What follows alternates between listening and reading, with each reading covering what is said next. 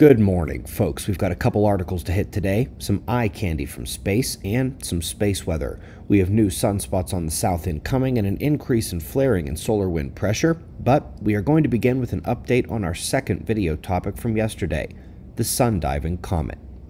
Its trajectory and velocity now clearly demonstrate it's not going into the sun. It will survive its close pass. It will likely bend a bit more, but is likely to leave the inner solar system northward here and not endure a whip around the sun. It continues inducing coronal mass ejections, and many of you yesterday asked why such a thing would be possible. Well, comets are electromagnetic interactors. The sun's magnetic fields and electric current sheets stream out past Pluto, and here in the inner solar system they bunch up and get very complex, especially in interactivity. The charged particles of the comet coma, not to mention the comet itself, interact with those circuits and have rapid impact back to the sun and down the line of the fields themselves. We'll keep an eye on its track today, but we'll also be monitoring the increase in X-ray production.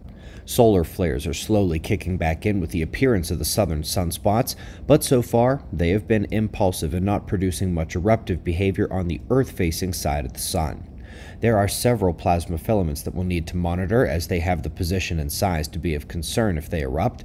Currently, geomagnetic conditions are mildly perturbed but nowhere near storm levels. We're taking a minor enhancement from the coronal hole stream solar wind, but thus far, again, it's relatively minor. The main watches for today are that comet and the incoming sunspots for development as they turn into face Earth through the remainder of the week.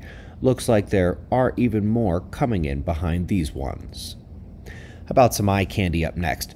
Abell 2256 focuses on this cluster of galaxies here, where the circumgalactic gas is tremendously excited by the interacting systems and their photoionization. It's an X-ray view here.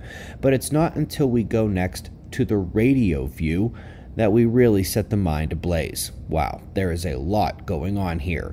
A link to the article and description of what several of these features are. Most interesting to me are the jets. And I would also love it if Hubble and James Webb could point this way to add in UV and infrared light for a more complete spectrum of the system. Excellent paper here tracking ENSO variability, that's El Nino and La Nina, to solar activity centuries ago. The variability back then was even greater than over the last 60 to 70 years, a nice nod to the dozens of modern period studies suggesting the same correlations between the Sun and ENSO now. Last but not least, an excellent examination here by Professor Edmond showing that the modern warming of Earth is actually more natural than human caused. We've had an increase in solar activity over the last century that's bigger than what we've had in thousands of years, and we've actually been at record low volcanic cooling activity, and even Tonga doesn't change that.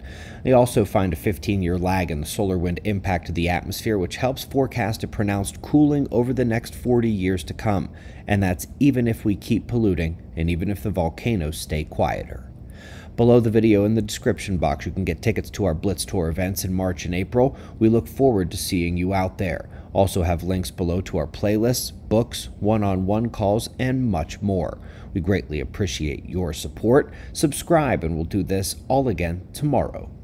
Right here, but right now it's 5:30 a.m. in the new Valley of the Sun. Eyes open. No fear.